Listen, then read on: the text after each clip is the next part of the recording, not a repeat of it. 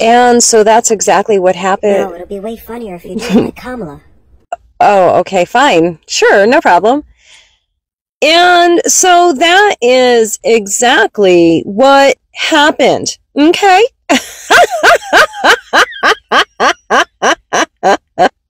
is that how you wanted me to, Yeah, much funnier. to tell that story? No problem. Do all your I don't- like. Yeah, I don't think telling every story, every video should be like Say it like Kamala. say okay sure. I don't think that every single video should be um, done in the voice of kamala harris okay? Because that would be strange right? Okay full stop. That would be a strange thing to do